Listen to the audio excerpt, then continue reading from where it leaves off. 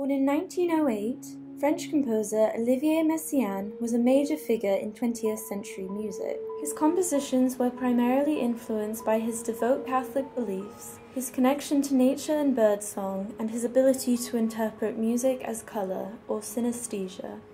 In 1945, Serge Koussevitzky, then music director of the Boston Symphony Orchestra, commissioned a piece from Messiaen. The resulting work was the Turangalila Symphony. A performance of the piece, which contains 10 movements, clocks in at over 80 minutes. It also calls for an orchestra of more than 100 musicians, including a piano soloist and the unusual and recently invented Ondes Martenot. One of the first electronic musical instruments, the Ondes Martenot was created in 1928 by Maurice Martenot, who was inspired by his work with telecommunications and military radio oscillators during the First World War.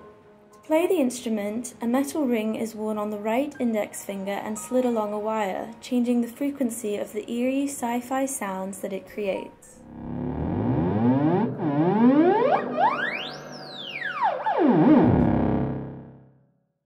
Turangalila Symphony is a love story based on the myth of Tristan and Isolde. In the 1940s, Messiaen, who was married to the violinist Claire Delbos, met the young pianist Yvonne Loriod in a class he taught at the Paris Conservatoire. The two gradually fell in love, and after Delbos' death in 1962 from chronic illness, Messiaen and Loriod finally married. Messiaen and Loriod realized their love was forbidden, just as was Tristan and Isolde's. The rapture and tension of this love filled the music of Turangalila. The exceptionally difficult piano part, one of its most stunning components, was written for Loriod herself to perform. The title Turangalila comes from two Sanskrit words, which, as Messiaen explains, have multiple meanings.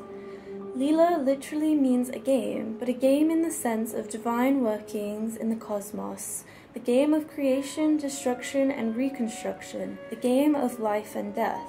Lila is also love.